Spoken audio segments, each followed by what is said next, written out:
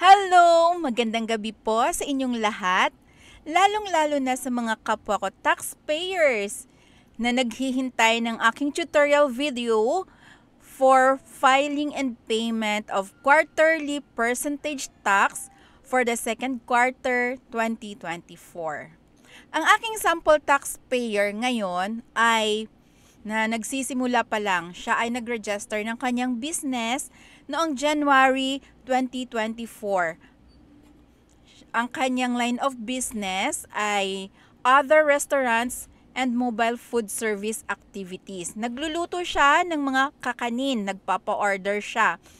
So, for the second quarter, from April to June 2024, ang kanyang total gross sales ay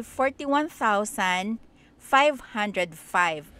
Ang amount na ito ay total na ng tatlong buwan ng kanyang benta.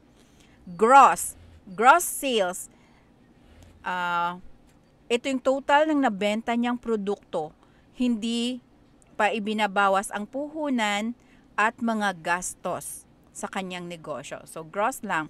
Ang tax rate na ginagamit natin para sa percentage tax sa mga taxpayers na exempted sa value-added tax. Ibig sabihin nito, ang gross sales for the whole year 2024 ay 3 million and below.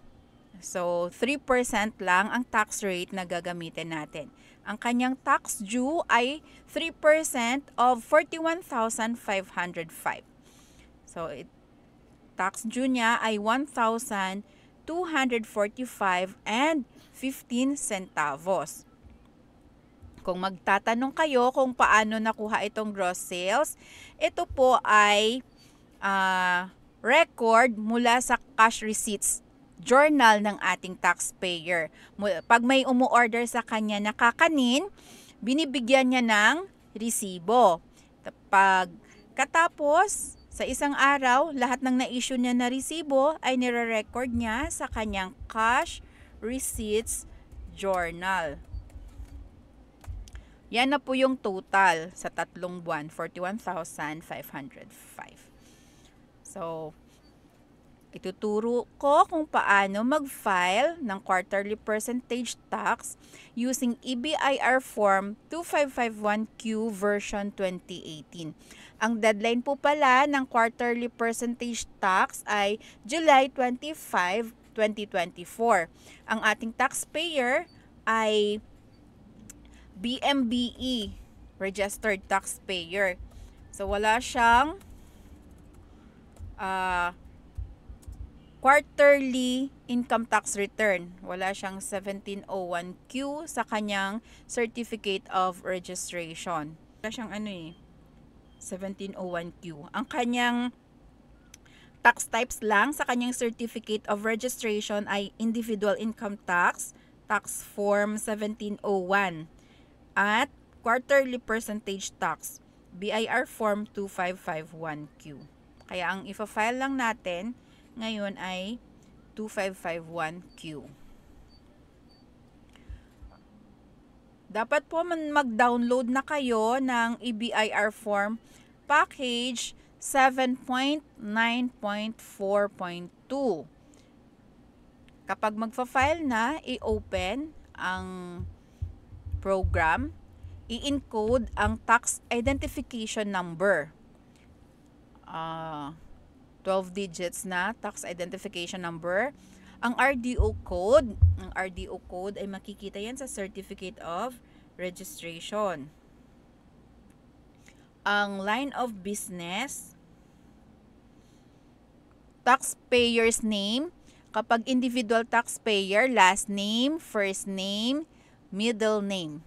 Kapag naman company or corporation, estate or trust, uh, yung registered name.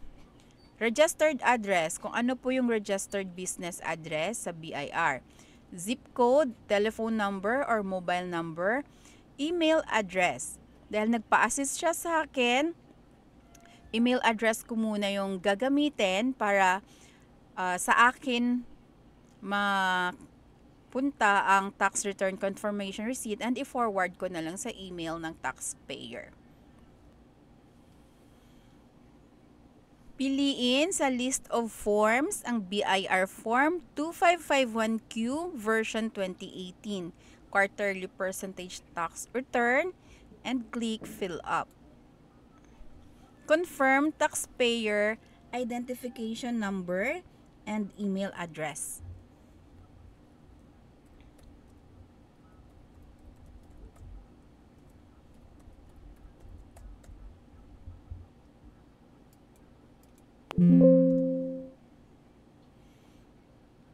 Background information saved or updated successfully. Then click again, fill up.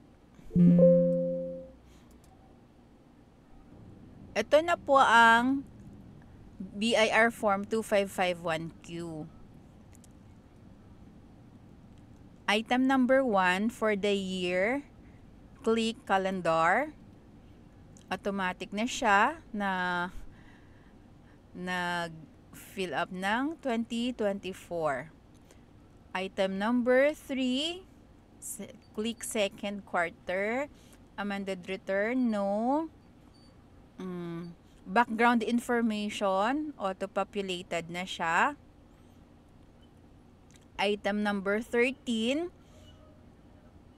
ang tax rate na ginagamit ng isang BMBA registered taxpayer ay graduated income tax rate.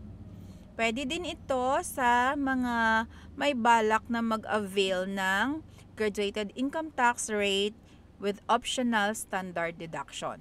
Pwede din siya sa graduated income tax rate on a taxable income with itemized deduction. Kapag sa BMBE naman kasi, itemized deduction din siya. Pero sa annual income tax return, whatever net income, kahit mag-exceed siya ng uh, exemption na 250,000 na net income, zero ang uh, tax due. Dahil meron pong income tax holiday ang mga BMBE registered taxpayers for 2 years. Pag nag-expire na yung 2 years, kailangan lang pong i-renew sa Go Negosyo Center ng DTI. Item number 14, dito tayo. I-click itong blue na link. Punta sa second page. Ang ATC ay PT 010. Ang Gross sales. Pinakita ko na kanina ang aking gross sales. 41,505. 41,505. Automatic na siyang mag-compute ng tax due 1,245 and 15 centavos. Oh, sinave ko na siya.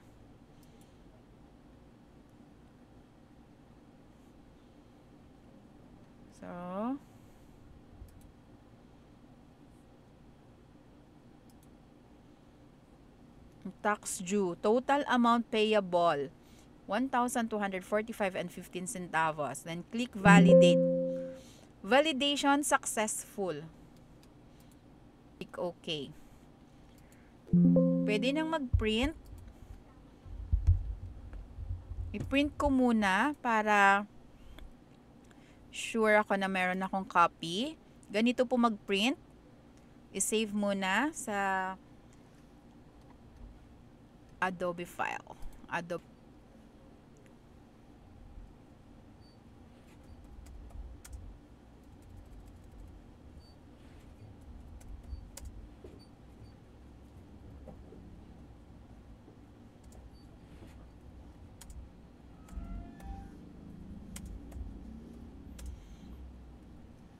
Then, isend ko lang ito sa taxpayer na nagpa-assist sa akin.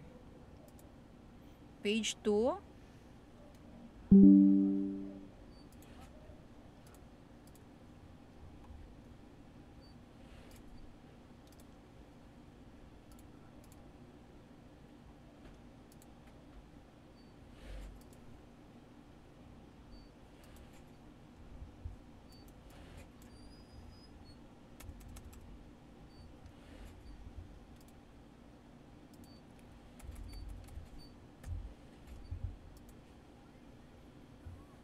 Okay. Tapos mag-print, cancel print. Then, submit final copy. Please ensure that you have internet access and a valid email address is indicated in your tax return. Are you sure you want to submit? Click OK. Click OK to agree to the revised terms of service agreement ng ating EBIR forms. Submit successful. Mag-take po ng screenshot nito. Kasi minsan nagkakaroon ng problema. Hindi ka agad dumadating ang tax return confirmation receipt. Click OK. Pwede na pong magbayad through electronic payment channels ng Bureau of Internal Revenue. God bless po sa inyong business. Sana lalo pang lumago ang inyong negosyo. Thank you so much sa pag-follow sa aking channel. Bye!